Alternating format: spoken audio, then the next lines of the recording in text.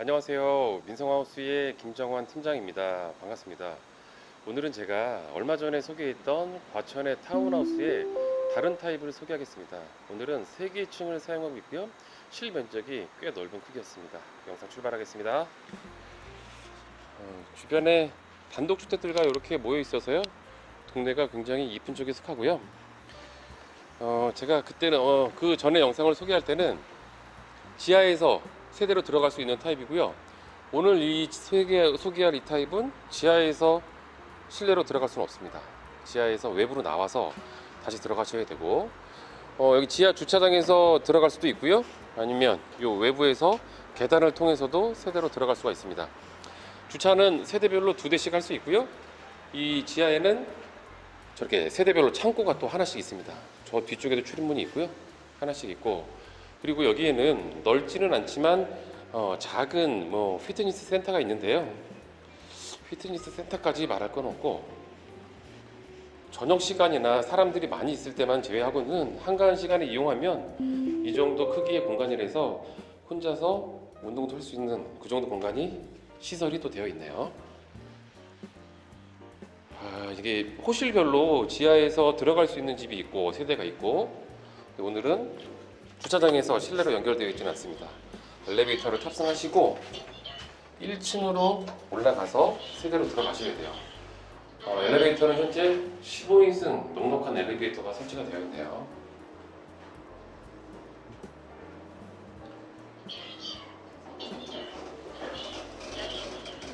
엘리베이터에서 내리시면 이렇게 6세대가 모여 있습니다. 네, 작은 마을 같죠? 인테리어도 꽤 이쁘게 되어 있습니다. 오늘 소개할 세대로 들어가 보겠습니다. 네, 방화문으로 되어 있고요. 똑같습니다. 그 집이랑 번호키 삼성 제품으로 되어 있고 지문 인식까지 되는 번호키로 이렇게 시공이 되어 있네요. 근데 이 집이 이 타운하우스에서 뭐 크기는 가장 넓지만 대가족이 사용할 수는 없습니다. 방이 3개밖에 없어서 그래서 전실은 이 정도면 뭐 적당한 크기의 전실 같고요. 이 바닥도 전부 다 대리석으로 시공이 되어 있네요.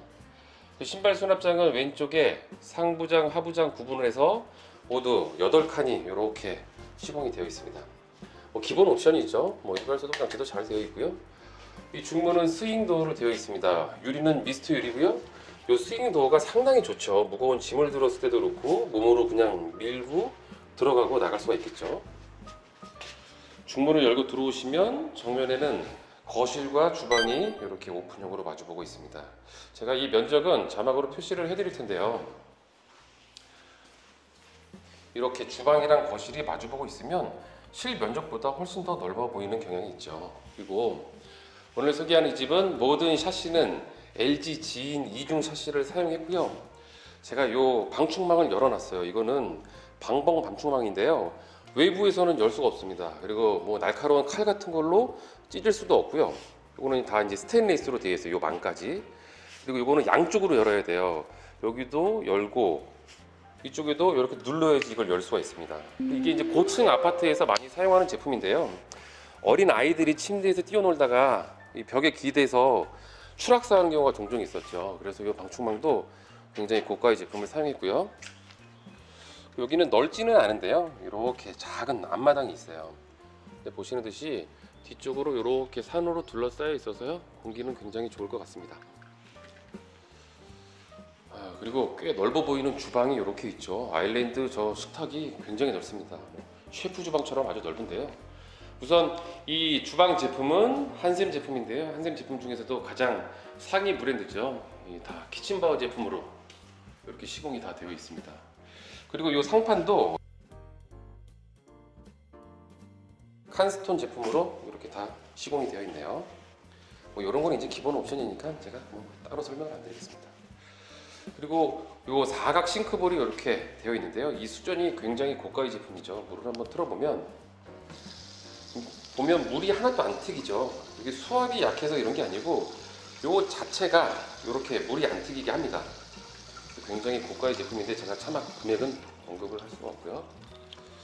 그리고 여기 3구짜리 전기 레인지가 이렇게 설치되어 있네요. 2구는 하이라이트고요. 1구가 인덕션입니다. 그리고 밑에는 LG 식기 건조기까지 기본 옵션으로 잘 되어 있습니다. 그리고 이 아일랜드 이 후드가 좀 약한 경향이 있는데요. 어, 이 냄새가 이렇게 퍼져 나가니까 여기도 창이 있고 환기창이 있고 저 거실 쪽에도 환기창이 있어서요. 열어놓으면 뭐 환기는 괜찮을 것 같습니다. 그리고 여기 에, LG 광파 오븐 레인지 뭐 여기는 밥통 자리겠죠. 그리고 보시면 별도의 냉장고 자리는 안 보이는 것 같은데요. 여기도 이 스탠드 냉장고도 기본 옵션으로 되어 있고요. 김치 냉장고는 빌트인으로 되어 있습니다. 여기에 김치 냉장고까지 다 되어 있어서 별도의 냉장고가 있다고 하시면 어, 이 다용도실에 넣으셔야 돼요.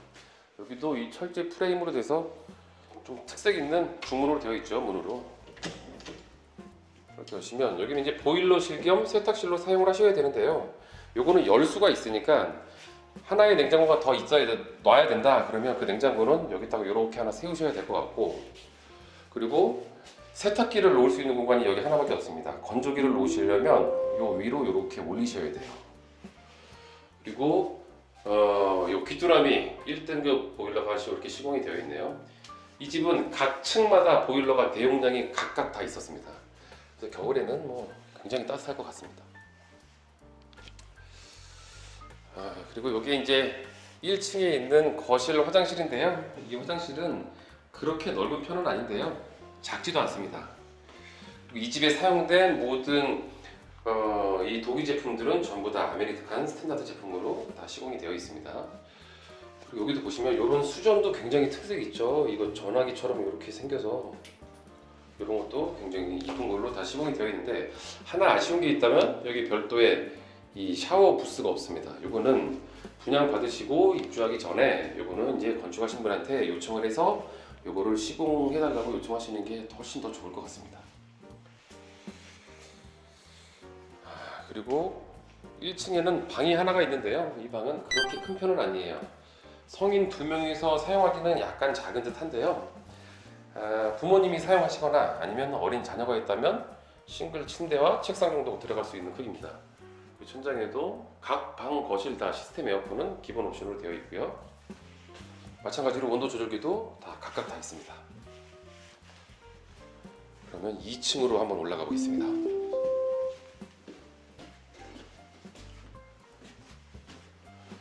2층에 올라오시면 여기도 중문이 이렇게 있습니다. 원래 이 계단이 있는 집, 2층 집, 3층 집은 이 계단을 통해서 열을 손실이 되죠. 근데 이렇게 중문을 놔두면 훨씬 더 겨울철에 따뜻합니다. 얘도 스윙도어로 되어 있네요. 스윙도어를 열고 들어오시면 이렇게 작지 않은 크기의 가족실 공간이 있죠. 여기도 이제 2층 거실인데요. 거실이 있고 이 왼쪽에는 4K 슬라이딩 도어로 되어 있습니다. 요 문을 열면 굉장히 큰 방이 있습니다. 이 방은 웬만한 안방들보다 훨씬 더 커요.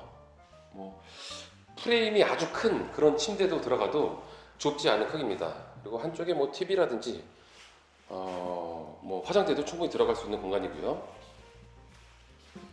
그리고 이게 이제 안방에서 사용할 수 있는 화장실이 되겠죠. 여기도 크기가 크지 않아서 이 샤워 부스는 뭐 설치를 할 수가 없는데요. 해바라기 샤워기까지 잘 되어 있습니다. 이런 손잡이도 굉장히 특색 있습니다. 이것도 나무로 되어 있고요.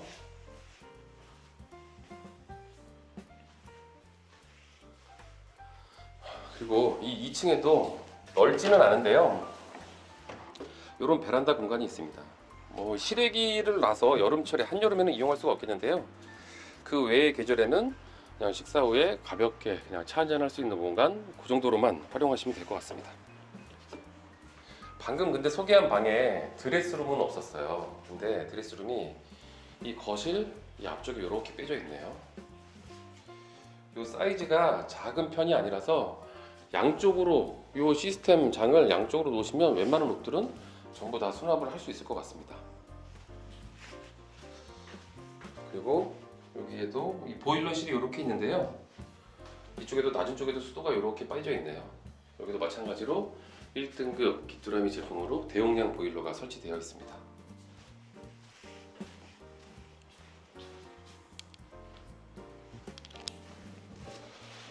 아, 이 집의 하이라이트는 3층에 있었어요. 3층으로 한번 올라가 보겠습니다. 여기 사용된 조명들도 각 호실별로 전부 다 다른 제품들로 이렇게 시공이 되어 있어요. 3층에 올라오시면 이 정면에는 베란다로 나갈 수 있는 공간이 있는데요. 먼저 그럼 이쪽에 베란다부터 설명을 드리겠습니다. 이쪽으로 나오시면 여기도 작은 사이즈가 아니에요. 여기도 기역자로 이렇게 꺾여서 굉장히 넓은 이런 베란다 공간이 있는데요. 여기는 어, 지금 수도 시설은 보이지가 않습니다. 이 3층 안쪽에 화장실이 있는데 거기서 이제 호수를 연결하든 이렇게 해서 만약 어린 아이들이 있다면 여기에다가 이제 어닝 정도 이렇게 설치해서 여기에다가 수영장, 간이 수영장을 만들어줘도 굉장히 좋을 것 같습니다. 그리고 뒤쪽에도 이렇게 산으로 둘러싸여 있고요.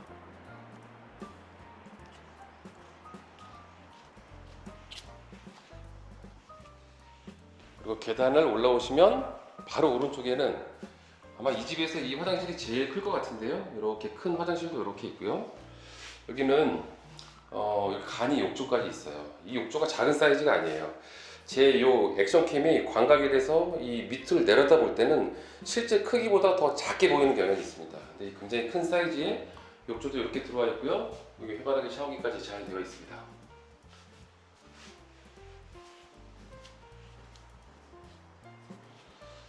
어, 3층 이 거실이 굉장히 넓죠. 1층 거실보다 훨씬 더 높은 것 같습니다. 그리고 지붕은 박공 지붕으로 되어 있고요. 이 층고가 3m가 훨씬 더 넘었어요. 굉장히 넓은 거실이 이렇게 되어 있어서 답답함은 전혀 없습니다. 그리고 또 층고가 높아서 여름에도 좀 덜 더울 것 같고요. 그리고 여기에도 또 보일러실 겸 작은 싱크대가 있습니다. 여기도 보시면 이런 수전들도 굉장히 특색이 있죠. 이런 것도 작은 싱크대도 하나 있고요. 여기에도 세탁기를 놓을 수 있는 공간이 이렇게 있어요. 여기에는 세탁기도 이쪽에 놓을 수가 있고 건조기도 이쪽에 이렇게 또 놓을 수가 있습니다. 이 3층에도 대용량 보일러가 이렇게 들어와 있고요. 여기는 건조기를 놔두고 사용하셔도 되고 아니면 저 야외 베란다에서 자연 건조를 할 수도 있겠죠. 여기에도 이렇게 넓은 이렇게 넓은 베란다가 이렇게 있습니다. 보시면 주변에 단독 주택들로 이렇게 다 있습니다. 아, 그리고 산으로 뺑 둘러싸여 있어서요 공기는 굉장히 좋을 것 같습니다.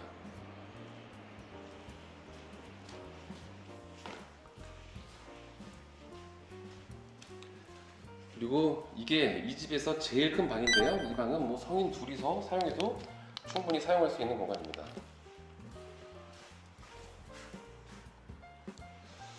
어, 제가 오늘 과천에 있는 어, 타운하우스를 소개를 했는데요. 어, 얼마 전에 소개했던 그 타운하우스와 같은 단지인데 평수가 제일 큰 평수입니다. 오늘 소개하는 이 타운하우스는 여기서 마치고요. 오늘도 제 영상 보시는 모든 분들 즐겁고 행복한 하루 되십시오.